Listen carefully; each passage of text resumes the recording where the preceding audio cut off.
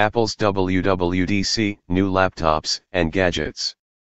Apple's annual Worldwide Developers Conference, WWDC, in 2023 showcased the company's latest innovations, including a new model of MacBook Air and its first ever augmented reality headset. The 15-inch MacBook Air joins its existing 13-inch model, while the AR headset sets the standard for future devices in this segment. For those who want to catch up on the conference, there are several ways to tune in remotely. The company also launched a new smart display called Standby that can turn your iPhone into a helpful tool when docked. Other prominent tech companies are also releasing new gadgets.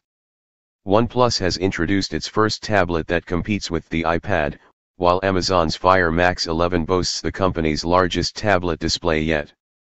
Google's new Pixel tablet aims to promote a large format Android experience that challenges Apple's dominance in the market. In addition to these devices, there are also a few accessories worth checking out. The Huanuo Lap Desk is a comfortable alternative to traditional desks for MacBook users, while Kingston's IronKey Vault Privacy 80 SSD adds a passcode to protect its contents.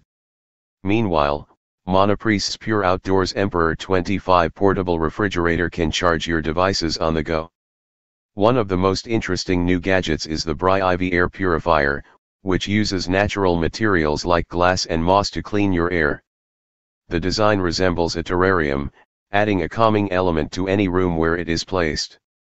While new gadgets are exciting, some may find Apple's shift towards shiny, well-oiled presentations disappointing.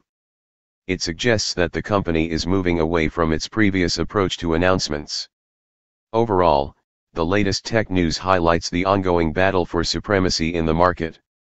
As technology evolves, companies must continue to innovate to stay ahead of the curve.